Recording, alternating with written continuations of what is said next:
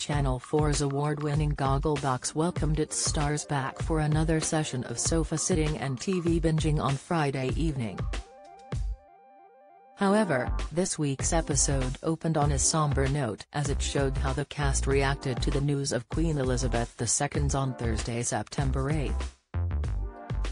As they tuned into Huw Edwards' historic BBC News report on the day, the likes of Jenny, Sue and Mary began to cry. The Gogglebox narrator kicked off the show as he informed viewers, this week, we watched the moment BBC News told the nation that Her Majesty the Queen had died. As soon as Huw's voice could be heard, the camera cut to Jenny and Lee in Hull, with the former wiping away tears with a tissue. David in Caerphilly also turned to his other half Shirley and said, you know something serious has happened when interrupts the daily run of the programs. The cameras cut back to Lee and Jenny as they listened to Huw read aloud Buckingham Palace's statement, prompting Lee to rest his head in his hands. We knew that was coming, Brighton-based Stephen said to his partner Daniel. But it's still quite shocking, isn't it? May she rest in peace, man, Marcus said to Micah from their home in London too. Brother and sister duo Sophie and Pete were both also emotional as they discussed how much the Queen favoured Balmoral from their front room in Blackpool. And Jenny wasn't alone in needing to wipe away tears either, as Giles comforted his wife, Mary, patting her on the arm as she cried and said, steady. Sue and Steve in South London also shed a tear for Her Majesty, with Steve even commenting King Charles III now had big shoes to fill.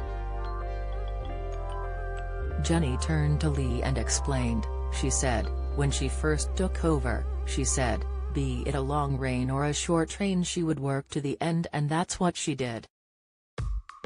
As Lee continued to watch the tributes on screen, Jenny then began to sing the national anthem through tears.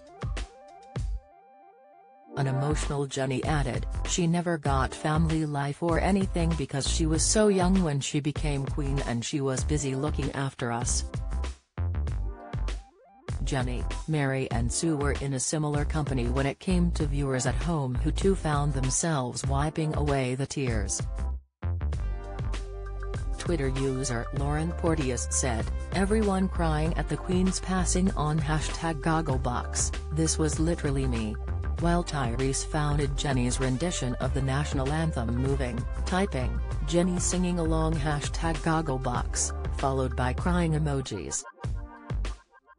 And at MollyRust underscore questioned, why is this affecting me so much still, I'm sobbing hashtag Gogglebox. Sam echoed the emotional feeling, commenting, a hashtag Gogglebox I haven't felt emotional until I saw others welling up. While actress I Taylor66 tweeted, watching all the Goggleboxers' reaction to learning the death of the Queen hash Gogglebox, followed by sad emojis. And Jess was also touched by Jenny, adding, Jenny singing God Save the Queen hashtag Gogglebox, followed by a series of crying emojis. Sick, Gogglebox airs on Friday at 9 p.m. on Channel 4.